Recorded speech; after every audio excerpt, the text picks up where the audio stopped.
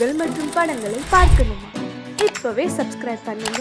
Bell ஐகானையும் click பண்ணிருங்க.